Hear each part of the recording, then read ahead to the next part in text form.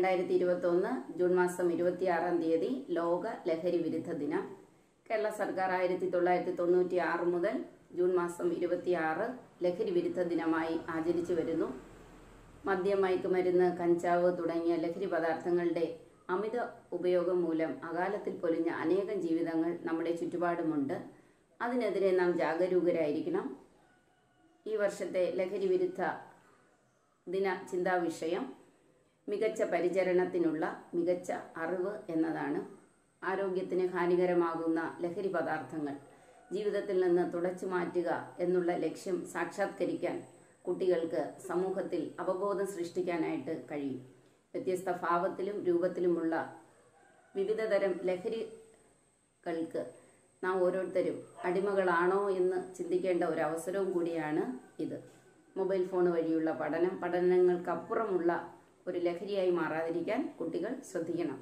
ആനന്ദത്തിനും ആഘോഷത്തിനും വേണ്ടി തുടങ്ങുന്ന ലഹരി വസ്തുക്കളുടെ ഉപയോഗം നിത്യനാശത്തിലേക്ക് എത്താതിരിക്കാൻ നാം ഓരോരുത്തരും ശ്രദ്ധിക്കണം. നമ്മുടെ ജീവിതം തന്നെ ഒരു ലഹരിയായി മാറുവാൻ വായന നമ്മെ സഹായിക്കട്ടെ.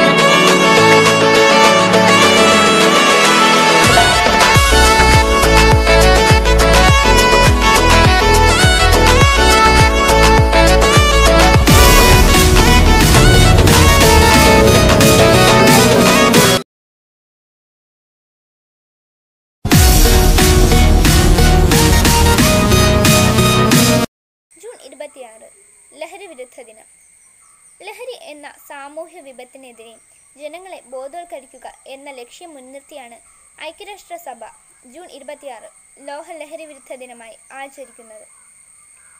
കൊറോണ എന്ന മഹാമാരിക്കെതിരെ വാക്സിൻ പ്രതിരോധ തീർക്കുകയാണ് നാം ഇപ്പോൾ ലഹരി എന്ന മഹാവിപത്തിനെതിരെ സാമൂഹ്യ പ്രതിരോധം തീർക്കേണ്ടത് അനിവാര്യമാണ്. ജൂൺ ഇരുപത്തിയാറ് ലോക ലഹരി വിരുദ്ധ ദിനം. നമ്മുടെ സമൂഹത്തിൽ മദ്യത്തിന്റെയും മയക്കുമരുന്നുകളുടെയും ഉപയോഗവും അതിന്മൂലമുണ്ടാകുന്ന പ്രശ്നങ്ങളും വർദ്ധിച്ചു വരുന്നു വിദ്യാർത്ഥികളിൽ പോലും മയക്കുമരുന്നും പുകവലിയും മദ്യപാനവും വർദ്ധിക്കുന്നു. ഇന്ന് ജൂൺ ഇരുപത്തി ആറ് ലോക ലഹരി വിരുദ്ധ ദിനം. ലഹരി വിരുദ്ധ ദിനത്തിനെ കുറിച്ച് രണ്ട് വാക്ക് സംസാരിക്കുവാനാണ് ഞാൻ ഇന്ന് നിങ്ങളുടെ മുൻപിലായിരിക്കുന്നത്. ഐക്യരാഷ്ട്രസഭ ആയിരത്തി തൊള്ളായിരത്തി എൺപത്തി ഏഴ് മുതലാണ് ലഹരി വിരുദ്ധ ദിനമായി ആചരിച്ചു വരുന്നത്. മദ്യം മയക്കുമരുന്ന് പുകയില മറ്റു ലഹരി വസ്തുക്കളുടെ കെണിയിൽ മുതിർന്നവർ മാത്രമല്ല കുട്ടികളും അകപ്പെടുന്നു. ലഹരി വെറും വെറുതെ ഒരു രസത്തിന് വേണ്ടി തുടക്കം. അത് കഴിഞ്ഞാൽ നീരാളി കൈകളാൽ ചുറ്റുവരിക്കപ്പെടുന്നു. ഒരു രാജ്യത്തിന്റെ ഭാവി അവരുടെ അവിടുത്തെ കുട്ടികളുടെ കൈകളിലാണ്. എന്നാൽ ആ കുട്ടികളിൽ കണ്ടുവ സുലഭമായി കണ്ടുവരുന്ന ഒന്നാണ് ലഹരി വസ്തുക്കളുടെ അമിതമായ ഉപയോഗം. ലഹരി വസ്തുക്കളുടെ ഉപയോഗത്തെക്കുറിച്ച് ഏതാനും ചില കാര്യങ്ങൾ ഞാൻ നിങ്ങളോട് സംസാരിക്കുന്നു. ലഹരി വെറുതെ ഒരു രസത്തിനു വേണ്ടി തുടക്കം. പിന്നെ നീരാളി കൈകളാൽ ചുറ്റുവരിയപ്പെടുന്നു ഒരു രാജ്യത്തിന്റെ ഭാവി അവിടുത്തെ കുട്ടികളുടെ കൈകളിലാണ്. എന്നാൽ രാജ്യത്തിന്റെ ഭാവി തകർക്കും കുട്ടികളിൽ സുലഭമായി കണ്ടുവരുന്ന ഒന്നാണ് ലഹരി വസ്തുക്കൾ.